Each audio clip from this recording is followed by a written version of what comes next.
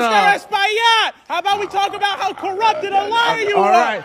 50 years in Harlem is still fucked up, right? People are slumped over 125th Street.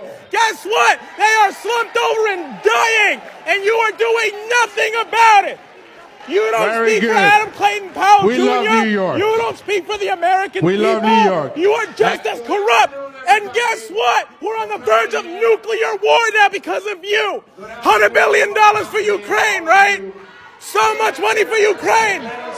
But what about for Harlem?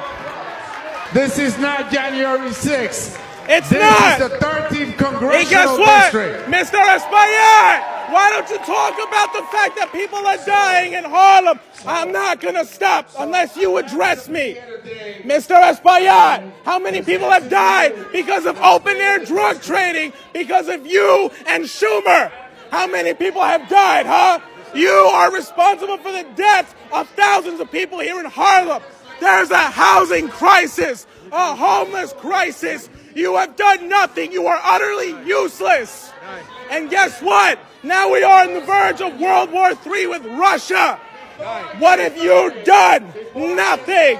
You've only made things worse. And everybody's going to end up dead. We're on the verge of nuclear war, people. In you didn't know.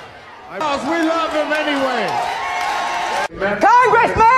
When are you going to tell the people of your district that Germany has just declared war with NATO on Russia? Are you going to tell your district that we're on the brink of a nuclear war with Russia? Because guess what? A nuclear war will fuck a lot of things up. When are you going to actually do something for this district? When are you going to seek diplomacy with Russia? That is the most important thing concerning the That people we of could this have district. public You safety. have to make peace with And we Russia. could have also the respect instead of, of law down to these enforcement for our communities. We could have both.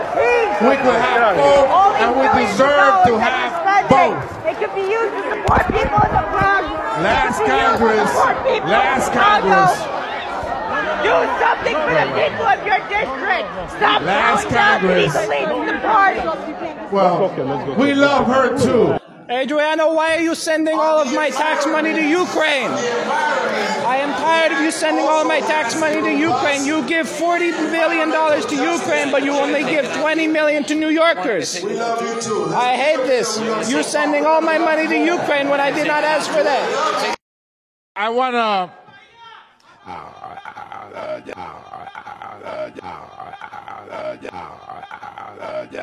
All right.